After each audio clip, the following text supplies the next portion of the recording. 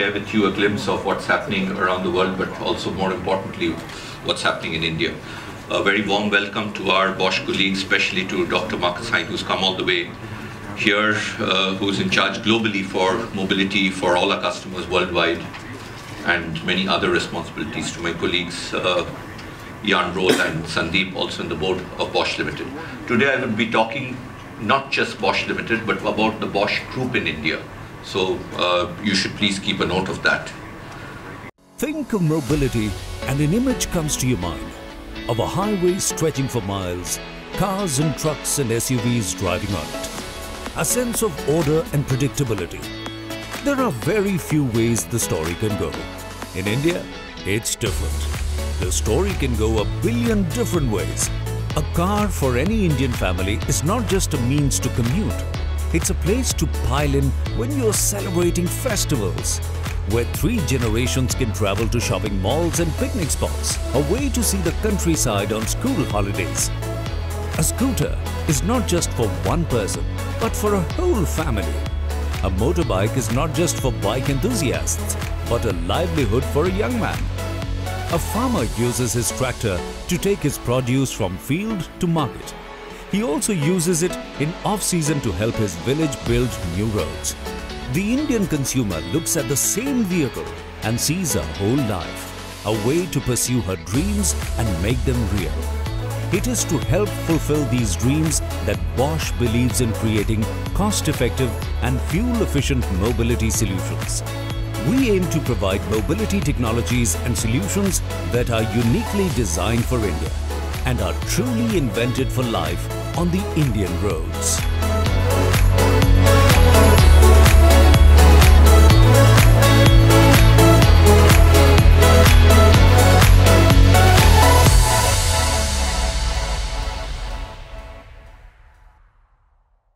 Thank you. Uh, this gives you just a glimpse of you know what happens in India and why India is so unique. A little bit about our parent. You know, our parent is uh, you can see 19, 1886. So we're talking of you know around 134 years plus uh, young, and uh, Bosch India two years later is going to be 100 years young. Uh, just that you know, uh, or just less than 80 billion euros and uh, you can see uh, amazing growth rate of 12% CAGR over this 134 years and more than 400,000 employees worldwide. And very importantly, the founder gave 92% of his wealth away to a trust. So this is perhaps the only private limited company, which is about 6,50,000 crores, owned 92% by a trust and where uh, this vast majority after capex and R&D goes to the trust. Uh, Bosch for decades worldwide has spent around 10% of its turnover on R&D. That's why we have the tagline invented for life. So very unique company with ethics, values and trust-based organization. India, we came to India in 1922. So 2022 we will complete 100 years and we are doing Make in India for the last 67 years. And uh, you know, Bangalore operation started its manufacturing in 1953.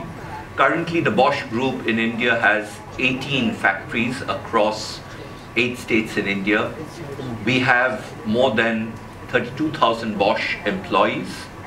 These are, you know, permanent employees. And we have the highest engineering and R&D force in the world outside Germany. And this gives an added impetus. And many of them work for embedded software. So you know, hardware, software, IoT, everything goes together and we put up an electronics plant many, many years ago. We have around 21,000 crores plus of turnover and of course uh, 15 legal entities. Uh, a very important thing that we need to look when India goes through a downturn on mobility is not to add just to the whole aspect of gloom and doom. Know, all of us were euphoric in 17 and 18 when India had one of its fastest growing rates. We must look at the bigger picture. If you look on the left side on what happens in terms of both demand for passenger and goods mobility, uh, on the left is the passenger mobility and on the other is goods mobility. if you take the period between 2018 to 2030, we are looking at perhaps a 1.6 times increase in the movement and perhaps a double increase in rail and road. So mobility will always be demanded in different ways, albeit. But it's a demand that's going to be there and it's going to be on the increase. And especially in countries like India, where our average age is still dropping. Very important is the urbanization in India. We expect that 40% of the population will move into Indian cities in the years to come. And many of our cities are becoming perhaps the most populous cities in the world or the fastest growing cities. So I don't need to state it. It comes with opportunities, but it also comes with challenges. India has been in the forefront for bringing regulatory changes, and perhaps some of them are the fastest in the world. On the emission front, all of you know that uh, advanced countries, including our parent, Germany, took eight years to go from Euro 4 to Euro 6. The average time was eight years. India took three years to go from BS4 to BS6, the, with some differences, the equivalent of Euro 4 to Euro 6. And earlier, at BS2 to BS3, we had a delta of between 15 to 17 years in technology. Today, after the movement on 1st April 2020, the delta will reduce anywhere between a band of three to five years. So we are talking of very different shifting changes which are seamlessly happening, whether in emission, whether in CAFE norms, whether in safety norms, and in many areas which we have indicated, including fuel, fuel consumption. All these areas, Bosch supplies solutions. Uh, colleagues from the press, we are not just a component manufacturer, of course, a big part of it comes from components, but we are a systems as well as most importantly a solutions provider to India. Three examples I want to give you. The big change, and you will see the data, the big change that is happening on BS4 to BS6, I'll share the data with you, the huge, you know, uh, how Bosch has partnered with the OEMs to make that happen seamlessly. The two-wheeler ABS, as an example, more than 1 million two-wheelers today are applying on the roads with Bosch ABS. The change from carburetor, Bosch will play a very important role on this. And many more examples, including electrification, which you know about Bajaj as well as TVS. So this gives you just a map. I'm not going to read out to you how leapfrogging happens and seamlessly and quietly and that too in India in front of you. On the left side you have all the sectorial vehicles, on the right side the timelines. And you can see the red line which indicates very importantly the changes which are happening 2020 and followed very shortly by 2022 and 2023. BS4 to BS6 is perhaps the most stringent change that is ever happening. I would now like to give a statement on Bosch acquisition. On BS4 to BS6, Bosch has acquired 70 projects. These 70 projects which have been acquired in the last few years, couple of years, which are booked acquisitions, which will span over the period of the acquisition period, are approximately a value of 24,000 crores. So this gives you an idea of technology linked to giving a complete solution, starting from the inception, because we have our applications and R&D engineer, right up to SOP. And, you know, uh, the EGT plays a very important role, but we take responsibility for the full system. So this gives you an example of we being a player of not just supplying to the OEMs, but we create the ecosystem. From the supply chain to the aftermarket, to R&D, to sales, and most important, localization and manufacturing. We have 18 plants in the Bosch Group in India. And we do systemic localization in a phased manner, and we ensure that parts systems and solutions are affordable, innovative, and also made for India, most of them made in India.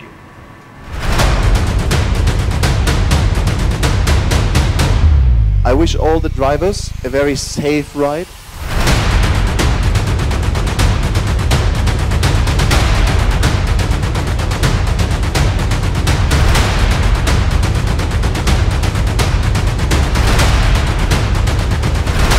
expected some challenges, but not this extent.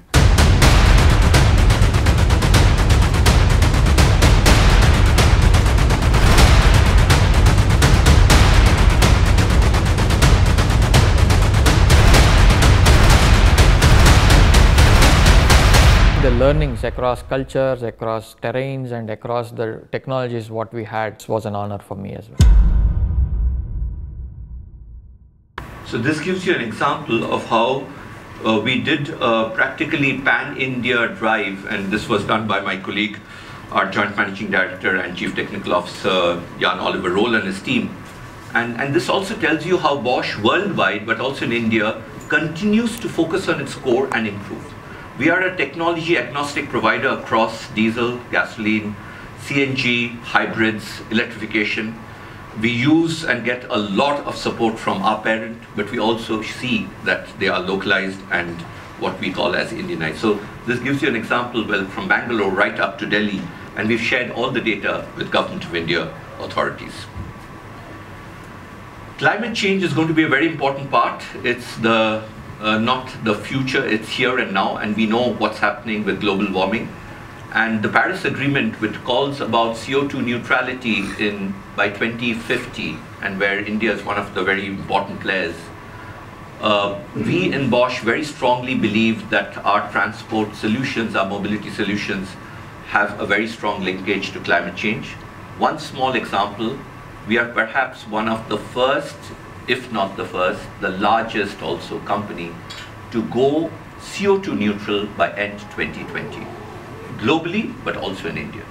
So this is a very important commitment that we are making, and uh, this will be done across the Bosch Group, all over all countries, but India too will have it.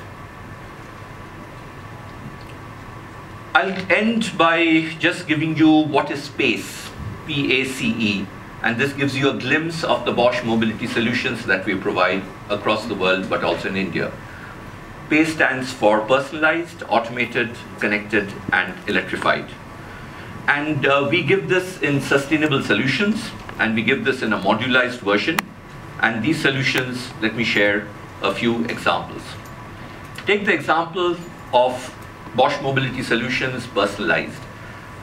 We, as you know, that in the listed company, we put up two project houses, which, I mean, and when I say project houses, they go in for even SOP and with dealings with our OEMs. One is the electromobility, and this uh, caters for our two-wheeler, three-wheeler, four-wheeler. And, and this is something that you've seen real-life examples.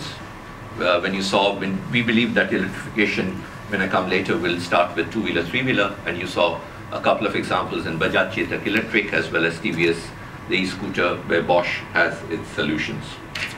The second thing that we believe very strongly is automated. Of course, this starts with driver assistance. And you know that uh, we gave an example of ABS and ESP. Uh, road fatalities in India, recorded, there are some unrecorded too, are more than 1 lakh 50,000. And we have data to prove that you know more than 10,000 deaths just can be avoided through ABS. And you can see the huge change. 1 million today two-wheelers already have Bosch ABS in the streets and more will come. They are lightweight ABS, they're manufactured in India, they're localized, and they're affordable and they're innovative. Uh, ESP is a natural you know, follower for ABS, and this we know that would happen both and is happening both for two-wheelers as well as for pass cars. And very importantly, Bosch has a lot of innovative driver assistance systems. For lack of time, I'm not doing it right now. We can have question answers and especially uh, who better than Dr. Heyn to give you detailed answers globally, but also for India. We are a company which is extremely innovative and not just hardware driven. Many of us in this room do not know that nearly more than half of your MEMS sensors in your mobile phones are Bosch sensors. Bosch makes billion plus sensors a year and it goes across not just automotive but across all areas including in your own smartphones so we have a lot of IoT devices including being connected and here you can see example of perfectly perfectly keyless entry into a vehicle or whether it is charging or hundreds of such applications our project house mobility services and solutions will also participate very strongly in this area of being connected but also providing solutions and digitally. If you take electrified, Bosch is one of the few companies in the world while not making a car, provides everything to a vehicle. And we have a portfolio from two-wheeler e-bikes, our parent, right up to HCVs for electrification. In India, we believe strongly, and our CEO shared that his vision when he gave was one of the keynote speakers for Mobility Summit, which uh, the Prime Minister had invited, that two-wheelers and three-wheelers will be the first to be electrified because that's the most cost-effective, the lightest, and you can see that with the launch of the Bajaj Chetak Electric and the TVS and more to follow. Uh, we also believe that LCV will have electrifications and, and we believe that Bosch can participate in a very strong way because we have complete electrified solutions across the range. We are, and when required, we will further get into localization for specific bandwidths for the power. So in summary, this is just a glimpse. One can go into far great details. Bosch India is very strongly committed to the mobility of the future. We believe it's not just the number of vehicles that we need to look at. We need to look at what these vehicles, how the models will run. So when I mentioned to many of you that we are having cyclical but also structural changes, it meant that the industry needs to transform to meet solutions which are of a different nature than just individual mobility or just the traditional mobility that we have seen. They will be connected, they'll be electrified, they'll be automated, they'll be personalized. And Bosch India, uh, along with the support of a parent, will play a very important role. So I end, you know, our core business is still powertrain. And BS4 to BS6, I think we are both humble and proud to be committed to the journey and the 70 projects that we have acquired with a value worth of 24,000 crores gives you an example of our partnership with the OEMs that we do and our commitment to the India story. Thank you very much.